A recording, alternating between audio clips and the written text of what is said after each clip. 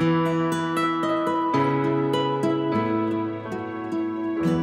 projet s'appelle Expomine.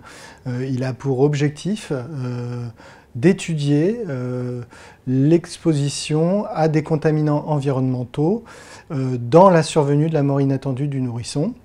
Et en particulier, parmi ces contaminants environnementaux, la pollution atmosphérique et l'exposition à certaines familles de pesticides.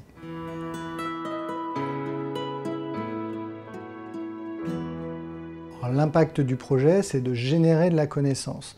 Euh, c'est un projet qui est unique, euh, innovant, euh, et donc pour la première fois en France, on va générer des données autour de ces facteurs environnementaux dans cette population qui décède de mort inattendue du nourrisson.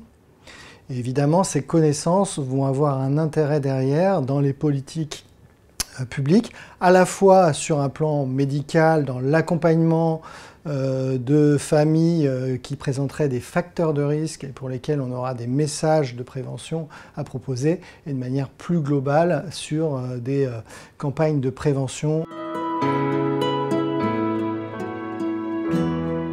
Le mécénat des mutuelles AXA, au travers de son programme santé, nous apporte un soutien essentiel puisqu'il nous permet de réaliser ce projet avec des partenaires euh, qui ont des expertises extrêmement poussées sur le sujet. Et le mécénat AXA a toujours été euh, bienveillant et euh, nous accompagne pleinement dans les objectifs de cette recherche. Et l'objectif final est évidemment de pouvoir prévenir au mieux la survenue de telles tragédies.